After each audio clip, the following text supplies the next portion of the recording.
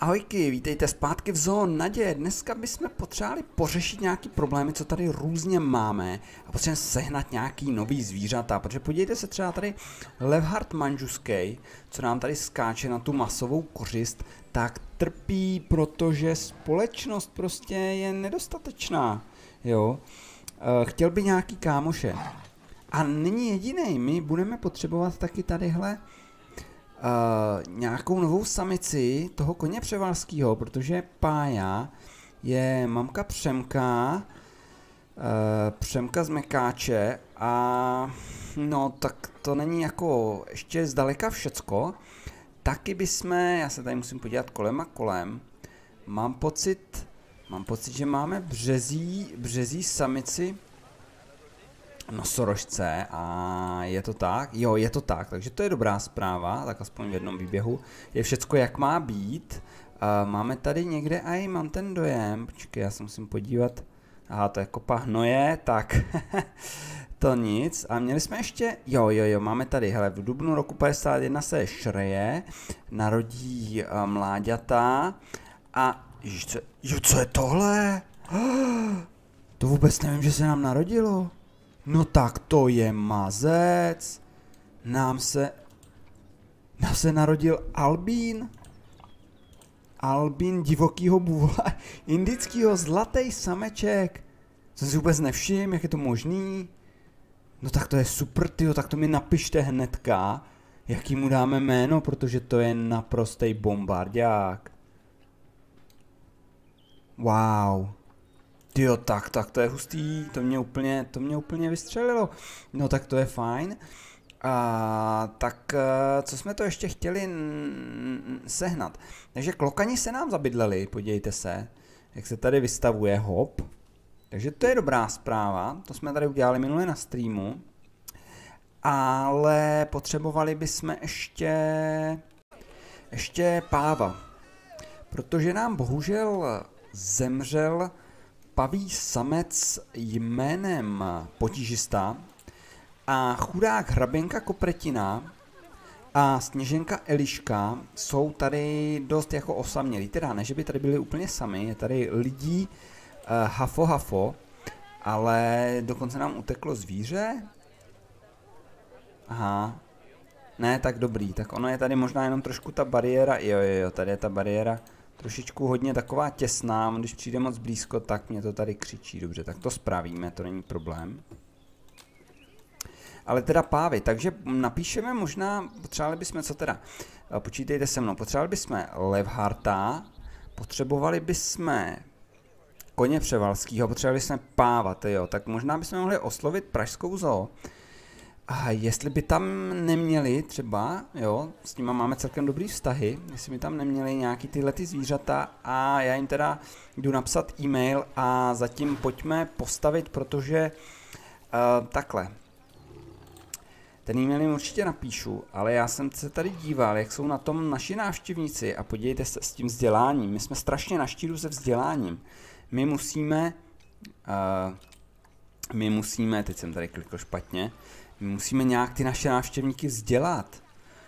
E, nám absolutně chybí nějaký ty obecný vzdělávací cedule a tak, takže e, pojďme rozšířit tady ten park, co tady máme u té naší zámecké zahrady a pojďme do toho nadspat nějaký vzdělávací takový ty automaty a cedule a tak, protože chceme, že jo, návštěvníky vzdělá, chceme, aby byli spokojení, aby nám dávali penízky, a taky jsme říkali, že tuhle tu část té zámecké zahrady by jsme udělali takovou víc přírodní, že jo, a co se skvěle hodí do přírody, tak eh, samozřejmě včely, hmyz a tak, aby nám to tam krásně opilovali, aby nám tam něco vykvetlo. Takže jsme tady udělali takový pěkný včelíny, který jsem teda vzal z workshopu, zároveň z toho eh, DLC ochrany, z toho Conservation DLC máme eh, tady ten krásný hmyzí domeček, tak si myslím, že byla škoda, kdyby jsme ho nepoužili. No a samozřejmě uh, nesmí chybět, chtěl jsem říct vodopád, ten nám chybět teď bude, nesmí chybět jezírko. Hezký, pěkně zarostlý. Tak a my k ním přidáme cedule. Uh, říkal jsem si, že tady to místo vzadu za tím jezírkem, který jsme tady teda udělali, tak je takový prázdný, jo, že by se sem hodili tady k té zdi přihodit ještě uh, nějaký ty naučný a vzdělávací cedule, kde pak je máme, hele, my bychom se možná mohli dát člověče toto. Vzdělávací stanice výška žirafy. Ono je to trošičku absurdní, protože žirafu vůbec uh, nemáme, ale proč ne? Ono by se to tady jako hezky výjímalo. A můžeme to sem dát. Jú, hele, ono se to hejbe. No to hejbe zase. Haha, tak to bude populární. Myslím si, že každý dítě se tady uh, rádo změří. Fajn, tak to je fajn. Hele, uh, dáme sem i tady tu vzdělávací tabuli. Hned vedle. Co bychom na ní mohli dát? Mohli bychom na ní dát, co by se tak hodilo k té invazivní druhy. Ano, tak taková žirafa, to je v Evropě vyloženě invazivní druh.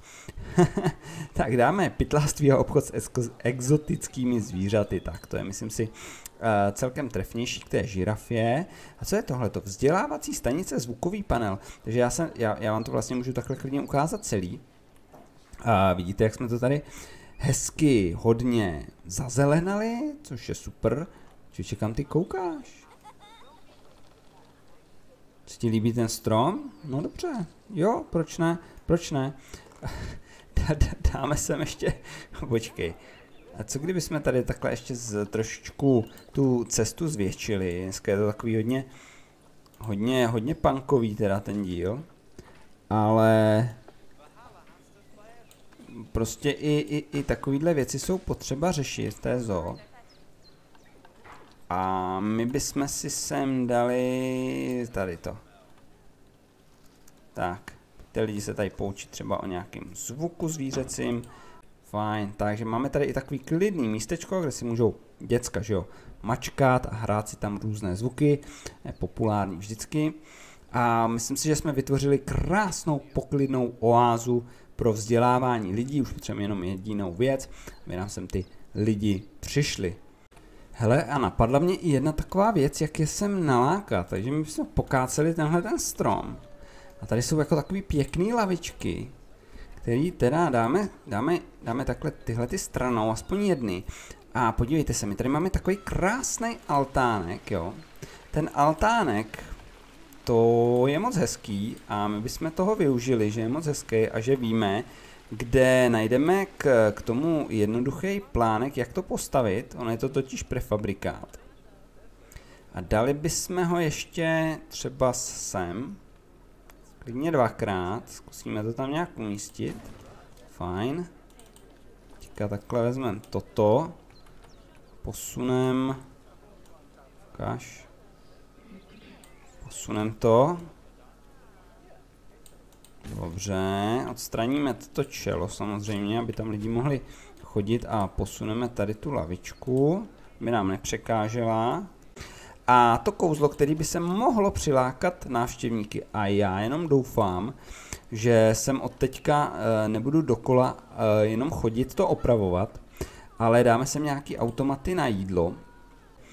E, takže dáme sem Chief Beef, že si tam můžete koupit takovýto uh, sušený hovězí třeba a samozřejmě nějaký nápoje, takže uh, gulpí, proč ne, tak. Takže tady dáme dva automaty, samozřejmě sem přihodíme hnedka, každého máme tady koš, protože známe lidi. A myslím si, že by, že by nám to mohlo pomoct sem trošičku uh, ty lidi přilákat. Tak, když teda Opravdu by to nešlo dát sem. Takovým nešťastným způsobem umístění. A šlo, dobrý, hele, už jdou, už jdou. Jak slepice po flusu. No, tak jo, tak fajn. Tak se koukejte u toho uh, i nějakým způsobem vzdělat. Ono nám tady bude krásně ladit, možná je to takový uh, trošičku trapně stejný, tak bychom to tady trošičku takhle upravili. Je to zarostený jenom z jedné strany a ještě sem ten strom přeci jenom takhle na kraj dáme. Tak, teď to nevypadá divně. Teď se mně to líbí mnohem víc a krásně nám to tady navazuje, takže to tady nepůsobí vůbec nepatřičně, jenom trošičku. No a do třetice jeden z restíků, který tady máme, tak za tou krásnou zahradou nám tady ještě pořád zbývá kupa bordelu, a kterou jsme tady nechali po tom starém výběhu pro Dinga a Bůh ví co ještě. A tak jsem si říkal, že bychom mohli tady trošičku to od toho bordelu vyčistit. Tady mám ještě plný koš, podívejte se na to. A tím nám tady vznikne prostor pro uh, nějaký další výběh. A přiznám se, že trošku, trošku nevím, co sem umístíme, uh, poněvadž uh, teďka momentálně žádný zvíře nemáme tak nějak úplně, úplně nalajnovaný. A zkusím se přeptat vedení, jestli by třeba nebyla ta červená panda k dispozici. Možná. Hmm. No a uvidíme. Tady se nám kamarádi klokani. Ukáž. No. Ti se kamarádí hodně. A mám z toho takový pocit, že budeme čekat potomky. No tak to je vynikající, tak to je vynikající, takže a Karla je březí, takže už se moc těším na narození malých klokánků. Je fotbalista zřejmě. A skvěle se daří taky Dingum, podívejte se, máme tady už početnou smečku, včetně všech našich nových mláďat, Sydney, Pískle, Huňáč, tak to je bezvadný. A co to? Pípnul mi tady e-mail. A tak eh, Pražská zoo se nám ozvala zpět a uh, no tak uh, díváme se na hrabáče, protože eh, z Pražský zoo nám nabízí samici Levharta Manžuskýho a koně Převalskýho výměnou za naši rodinku hrabáčů. No tak to je velice zajímavá nabídka. My máme frňáčka, my máme nosalku a my tady máme šmudlu. A těch bychom se měli vzdát, jo. Hmm. No, ale zase na druhou stranu, já jsem přemýšlel, že bychom tady u, v téhle části trošičku rozšířili ten výběh bizonů, dělali bychom tady takový severoamerický safari a tady by mohla být třeba nějaká jízda jeepem. A ti hrabáči nám tady překážejí, ale vzdát se hrabáčů, to jsou moje oblíbený zvířata. Na druhou stranu, já bych sem chtěl moc mít uh, mladý levharty, teďka se nám někam samec schoval dovnitř. Uh, není tady, nevadí, podíváme se uh, k, ke konům. Nějaký nový hříbátka by to tak chtělo, no hele, víte co, napište mi, co si o tom myslíte vy. Mějte se hezky, čau.